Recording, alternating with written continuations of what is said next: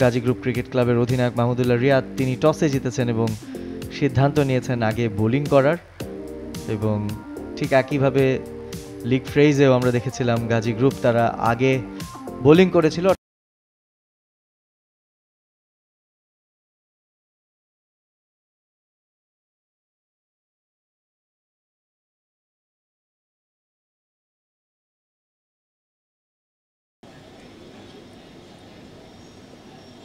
Back ফুটে গিয়ে on সাইডে পুশ করে দিয়ে একটা রান নেবেন। দ্বিধাদ্বন্দ্বে ছিলেন স্টাম্প ভেঙে গেলে বিপদ ছিল। সুপার লিগে এসে ডিস্ট্র্যাক্ট হয়ে যাওয়া। এবারে কিন্তু বাইরে ছিল, উঠে গিয়েছিল বাতাসে। শর্ট থার্ড ম্যানে ফিল্ডার আকবর আলী। এবারে ফ্লাইট দিয়েছিলেন মজিদ। উইকেট থেকে বেরিয়ে এসে চমৎকারভাবে মিড অনটাকে ক্লিয়ার করেছেন। ঢাকা প্রিমিয়ার লিগটা একটু ডিফারেন্ট হয়ে এসছে। পারভেজ হোসেন ইমন তিনিও সিদ্ধান্ত নিয়েছেন। ডাউন দ্য গ্রাউন্ড এসে দৃষ্টিকোণ থেকে যদি দেখা যায়। বাইরে ছিল। থার্ড ম্যানের মাথার উপর দিয়ে বল চলে গেল সীমানার বাইরে। ধরা পড়েন। পারভেজ হোসেন ইমন স্ট্রাইকে এই মুহূর্তে। ডাউন দ্য উইকেট এসেছেন এবং দেখার মতো ছক্কা একবার ব্যাটসম্যান এবং অবশ্যই তার প্রতি ম্যাচেই এই ক্ষেত্রেও যেমন ছিল শেখ মেহেদির ফ্লাইটটাকে সব খেলা থেকেই কিছু আদায় করার একটা সম্ভাবনা থাকে এবং একটা বড় শট আদায় করে নিয়েছেন। একটু শর্ট পেয়েছিলেন সেক্ষেত্রে পারভেজ ইমন এবং ব্যাকফুটে যেতে পেরেছিলেন, সময়টা পেয়েছিলেন। লম্বা একটা শট ডিপ মিড উইকেট অঞ্চলের প্রোটেকশন ছিল, তবে তার মাথার উপর দিয়ে বলটা উড়ে চলে গেছে। ইনসাইড এজ এবং বোল্ড উইকেটের পতন, আব্দুল মজিদ সাফল করে শটটা খেলতে চেয়েছিলেন, তবে টাইমিংটা করতে পারেননি। নন কমিটাল গিয়েছিলেন, ভেতরে কানে লেগে উইকেটে আঘাত এনেছে বেশ। বাইরের বল। এবং পসিবলি ব্যাটসম্যান মনে করেছিলেন যে হয়তো বা কিছুটা বাঘ ধরতে পারে এবং ভেতরে কানায় লেগে উইকেটে আঘাত হান আব্দুল মজিদ আউট হয়ে গেলেন দশ রান করে। আউট হয়েছেন। পার্টনারশিপটা ভালোই এগোচ্ছিল। এ পর্যায়ে ইরফান শুক্কুর। স্থাপন করছেন। এবারে সাফল করে জায়গা করে নিয়েছিলেন। এক্সেলেন্ট ফিল্ডিং সঙ্গে বল যে থাকে যা- যে গতির বোলারই হোক না কেন just angle bat look at this terrific এটাই দরকার। অনেক সময় আমরা অনেক ঘাটতি ছিল। ওয়েট তো অফার করেছে। এবার কিন্তু সুযোগ দেয়নি। সেই একই ফিল্ডারকে সরাসরি ডাউন দ্য ট্র্যাক মিড অফের মাথার উপর দিয়ে মিড অফ নয় লং অফের মাথার উপর দিয়ে ছক্কা। ওয়াও তো just getting in two position খুব তাড়াতাড়ি জায়গায় যে জায়গা করে নিয়ে আসলে। অনসাইড একটু সরে যে ইনসাইড আউট এই শটটা তার পার্টনারের সঙ্গে। আউট আউট আউট বেশি এন্টারপ্রাইজিং হয়ে গেছিল। ডাউন দ্য উইকেট এসে কাট করার চেষ্টা উইকেট উৎপাদন করতে শেখ মেহেদি তার প্রশংসা করতে হবে। ডাউন দ্য ট্র্যাক এগিয়ে আসতে দেখে তার বলের ডিরেকশনটাও পরিবর্তন করেছেন এবং উনষাট এক উইকেটে মোহামেডান স্পোর্টিং ক্লাব একশো দুই স্ট্রাইক রেটে ব্যাটিং করেছেন। দুশো ষোলো রান এখন পর্যন্ত এই লিগে যেমনটা দিয়েছিলেন ড্রাইভিং স্লটে গ্যাপটা পেয়েছেন এক্ষেত্রে শামসুর শুভ। এন সুইং এবং আউট কম বক্সে ইন দ্য মিন টাইম আমার সঙ্গে যুক্ত আছেন সামিউল টিটু। থ্যাংক ইউ এবং মহিউদ্দিন তারেক, তিনি কিন্তু নিজের প্রথম ওভারে বাজি মাত করে দিয়েছেন।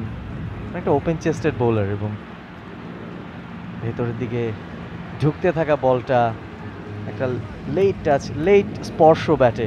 মোহামেডান তাদের থার্ড উইকেটটা হারিয়েছে উনসত্তর রানে। শামসুর রহমান সাত বল থেকে আট করে ফিরে যাচ্ছেন। খুব বড় শট খেলার জন্য তটস্থ হয়ে থাকেন। এবারে কিন্তু শুভাগত হোম তিনি কিন্তু সুযোগ ছাড়েননি। রুম পেয়েছিলেন শটে ফেলেছিলেন বলটা মাহমুদুল্লাহ রিয়াদ। জায়গা বানিয়ে কিন্তু চালিয়েছেন। টপ এইজ টাইমিংটা প্রপারলি করতে পারেননি। ডিপ থার্ড ম্যানের ফিল্ডার ক্যাচ থেকে ড্রপ করলেন। কিংবা আবারও দেখলে আমরা বুঝব। উইকেটের সামনে খেলতে চেয়েছিলেন। ব্যাটের কানায় লেগে সেটা পেছনে চলে এসছে। বলের নিচে এসেছিলেন, কিন্তু জাজটা ঠিকভাবে করতে পারেনি। একেবারে নিচে আসতে পারেননি বাট সুপার লিগের প্রথম ম্যাচে তিনি খেলতে নেমে ইরফান শুক্কুর। এবার তিনি কিন্তু সেই ফ্লোয়ে জয়েন করলেন এবং নাহিদ হাসানের প্রথম বলটা খেলেছেন। কোনো ধরনের রেসপেক্ট বা সমীহর কোনো ধার ধারেননি। আবারও একই ডিরেকশনে এবারে গ্যাপ পেয়েছেন। চারটি রান ইরফান শুক্কুরের ব্যাটে এবং যারা আজকে দলে ঢুকলেন, তাদের উপরে চার্জ করার একটা চেষ্টা থাকবে এবং সেই চেষ্টাই করেছিলেন ইরফান শুক্কুর বাট এবারে কিন্তু একেবারে মিস টাইম ছিলেন তার স্বভাবজাত যে ভঙ্গিমা। অ্যাকশন রিপ্লে শটটা খেলেছিলেন, টেনে খেলেছিলেন মিড উইকেট বরাবর। সৌম্য সরকার সেই জায়গায় প্রস্তুত ছিল। করে তার পরবর্তী সময় ক্যাচটা নিয়েছেন। বাইশ বল থেকে আঠাশ করে ফেরত যাচ্ছেন ইরফান শুক্কুর। মোমেন্টে যে কারণে বেঁচে গেছেন এবার ইনসাইড আউট জায়গা করে নিয়ে কভার ড্রাইভ আরও একটি রান শুভাগত হোমের ব্যাটে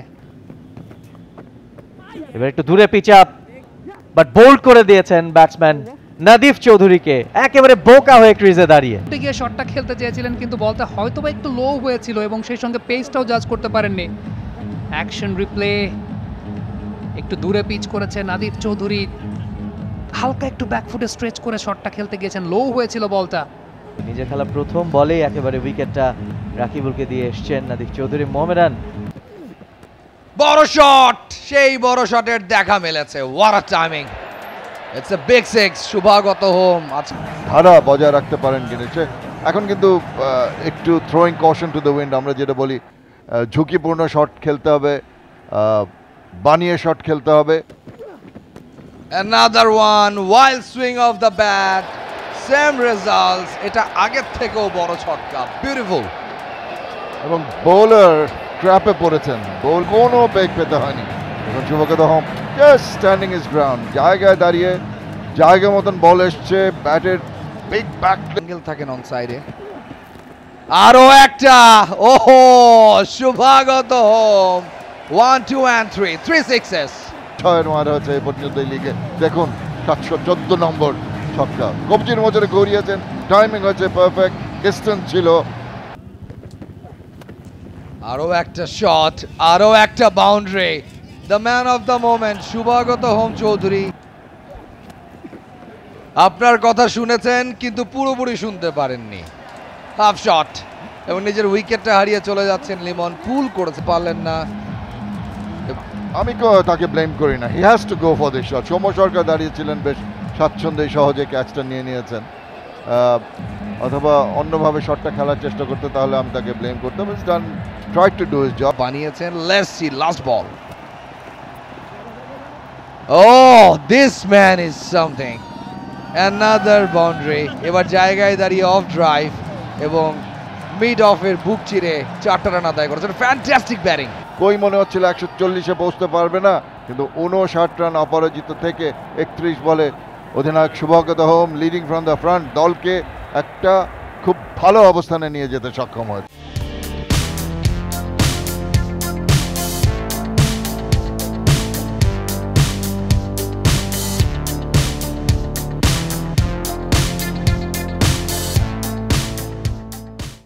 ডেথ ওভার্স থাকে সে সময় ব্যাটসম্যানদের ইন্টেনশনটাই থাকে বিগ শেখ মেহেদি। তিনি থাকবেন স্ট্রাইকে। প্রথম বলটি নিয়ে আবু জায়েদ রাহি। ইনিশিয়ালি মুভমেন্টটা আদায় করতে পেরেছেন আবু জায়েদ রাহি এবং মর্নিং শোজ দ্য ডে বলে একটা কথা রয়েছে। বাইরে পেয়েছিলেন অফ স্টাম্পের সামান্য এবং চমৎকারভাবে একটা লফটে ড্রাইভ তিনি করে দিয়েছেন। কভার পয়েন্ট বাউন্ডারি দিয়ে বল চলে গেছে। একেবারে ওটা খেলেছেন এবং সেই জায়গাটাতে ফিল্ডার ছিলেন না যে কারণে দেখিনি। এবারও যেটা হলো ওভার পিচ ধরনের ডেলিভারি ছিল। ডাউন দ্য শাফল করে স্লক সুইপ বিগ গ্যাপ এবং গ্যাপটা প্রপারলি ইউটিলাইজ করতে পেরেছেন ওয়ান বাউন্স ফোর জায়গা করে নিয়ে over the top Soumya Sarkar. কভারের উপর দিয়ে উড়িয়ে মেরেছেন বল সীমানার বাইরে চারটি রান ইন্টেনশন গুলোতে থাকছে না। এবার খানিকটা পেয়েছিলেন তিনি বাট মাছ ব্যাটে নিয়েছেন। চমৎকারভাবে সুইফটলি বল চলে গেছে। সরাসরি খুব ভয়ঙ্কর কোনো বল ছিল না একদম রিচে পেয়েছেন সৌম্য সরকার।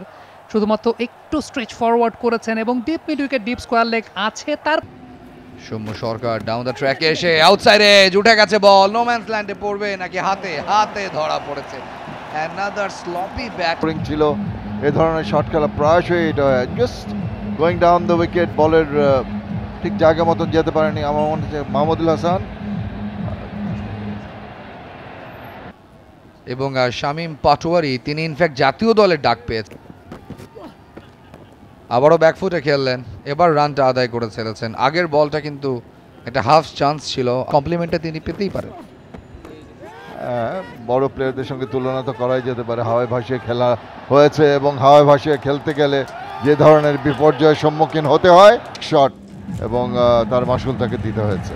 আপনি যখন ইনসাইড আউট শর্ট খেলবেন তখন আপনাকে আরও ডিপে খেলতে হবে লং অফে একটা ফিল্ডার দাঁড়িয়ে আছে। আপনি তার হাতে সিম্পল একটা ক্যাচ তুলে দিলেন। বড় সুযোগ ছিল সেট আপ ছিল সবকিছু হারালেন। শাহাদা দেবু ফিরে যাচ্ছেন পাঁচ বলে। ঠিক আছে। স্পেশালিস্ট লঙ্গার ভার্সন প্লেয়ার হওয়া সত্ত্বেও এই ধরনের শট খেলতে তিনি কার্পণ্য বোধ করেন না এবং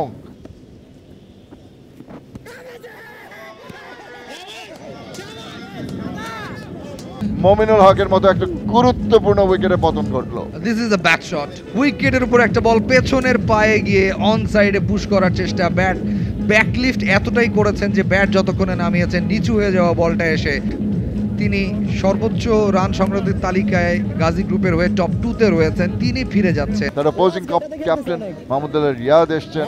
নিশ্চয়ই রিয়াদ তিনি আরও অনেক বেশি কন্ট্রিবিউট করার ক্ষমতা রাখেন। উড়িয়ে মেরেছেন। Elegant shot effortless don't expect যে ব্যাটসম্যান হঠাৎ করে জাস্ট অবশ্যই এটা স্লটে ছিল। খুব বেশি বেগ পেতে হয়নি খুব বেশি ফুটমেন্ট মুভমেন্ট করতে হয়। মাহমুদুল্লাহ রিয়াদ ও what shot second ball face করেছেন এবং মিড উইকেটের ওপর দিয়ে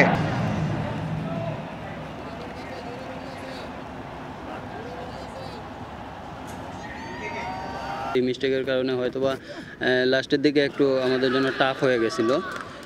তারপর আমরা কাম করছিলাম, শেষ পর্যন্ত আমরা আর ধরে রাখতে পারিনি এইটা এই ফাইট দিছে কোচ এই দিক দিয়ে একটু মানে হ্যাপি আছে যে আমরা ফাইট করতে পারছি, আমরা খেলতে পারছি ওদের সাথে ফাইট করে, এটাই উনি উনি হ্যাপি আছে পুরো বিট হয়েছেন, আট রান করে ফেরত যাচ্ছেন প্যাভিলিয়নে চারটি বল থেকে ইরফান শুক্কুর বিশ্বস্ত হাতে গ্লাভস বন্দি করে পরবর্তী সময় স্টাম্পটাকে ভেঙে দিয়েছেন।